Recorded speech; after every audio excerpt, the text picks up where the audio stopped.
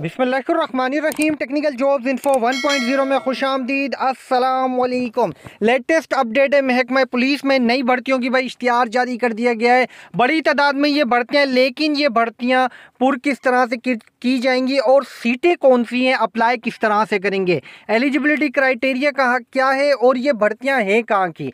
सारी चीज़ें बताऊँगा, इश्तिहार आपकी स्क्रीन पर है, लेकिन उससे पहले अगर आप चैनल पर नए हैं चैनल करें सब्सक्राइब साथ साथ नोटिफिकेशन ऑन करें, ताकि आप लोगों तक डेली की बुनियाद पर पूरे पाकिस्तान की न्यू जॉब्स अपडेट और पुलिस की जॉब्स की मालूम बसानी पहुँच सके। सबसे पहले तो यहाँ पर आप लोगों ने देखना है भाई अहलियत। बरए सीनियर स्टेशन असिस्टेंट की ये भर्तियाँ एस एस ए जिसे कहते हैं उम्र की हद कम से कम अट्ठारह साल है, ज़्यादा से ज़्यादा पच्चीस साल है और इन सीटों के लिए मेल और फीमेल दोनों अहल हैं।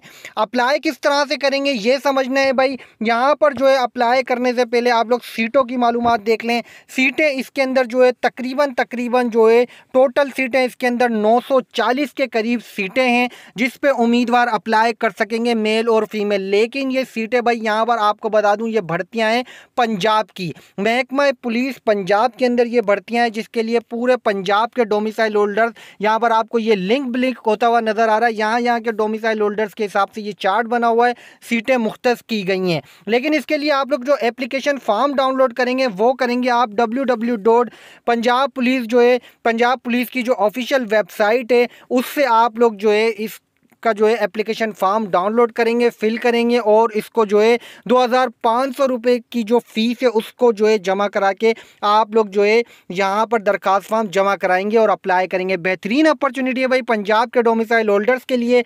अप्लाई करें जो लोग रेलिवेंट फ़ील्ड में। तालीमी काबिलियत रखती है। तालीमी काबिलियत यहाँ पर आपको बता दूँ कि इंटरमीडिएट तालीम है। B S C B C S और बी एस वालों को जो है इसमें तरजीह दी जाएगी। अप्लाई करें अपॉर्चुनिटी से फ़ायदा उठाएँ। चैनल पर रखें नज़र। मजीद मजीद नहीं जॉब अपडेट के साथ आऊँगा दोबारा। जब तक के लिए आप सबसे चाहूँगा इजाज़त। अल्लाह हाफिज़।